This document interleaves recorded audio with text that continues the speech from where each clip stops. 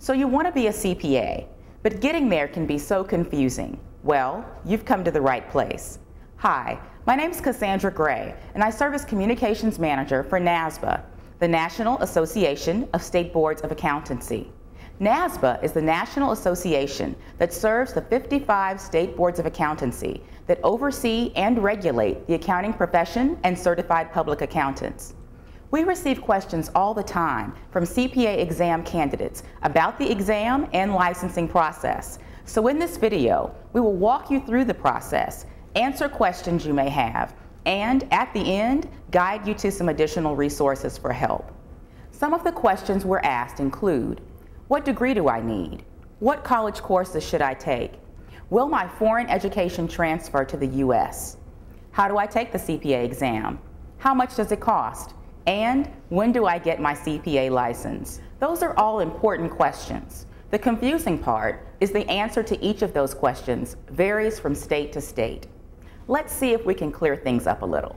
CPAs start out as students studying accounting and business in college, then move on to take and pass the Uniform CPA exam, obtain required work experience, and apply for the official CPA license. There are special education requirements that differ from state to state that must be completed in order to qualify to sit for the Uniform CPA exam. For example, some states require 120 total semester hours to qualify, where other states require 150 total hours. There are also more narrow educational requirements specific to each state, such as 33 semester hours in accounting and 36 semester hours in business.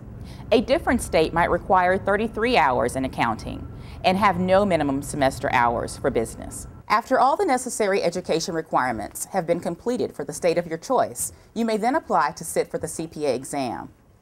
Passing exam scores can be transferred to any state for the purpose of qualifying for a CPA license, so it's okay to take the exam in one state and then later get your license in a different state. Upon successful completion of the CPA exam, the next step is to complete the other requirements necessary for obtaining a CPA license in the state in which you ultimately plan to practice as a CPA. Just like education requirements for the CPA exam, education and work experience requirements for the CPA license vary from state to state.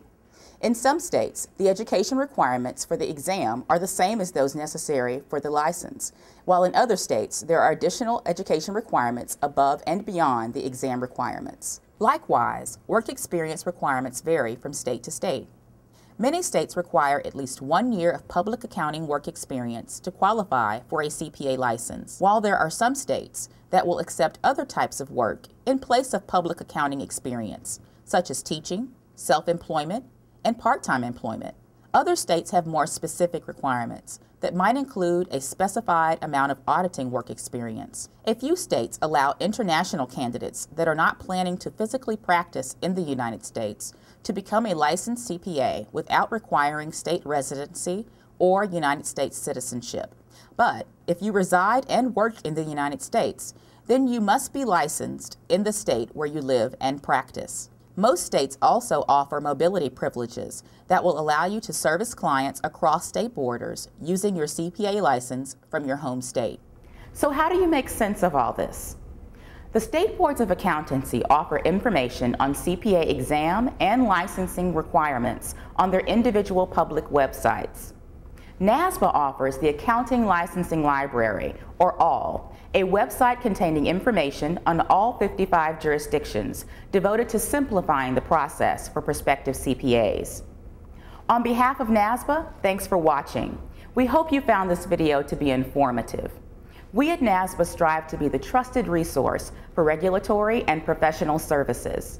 For more information on the Uniform CPA exam, CPA licensing, and all, please visit our NASBA websites alllibrary.com and nasba.org. Again, thanks for watching.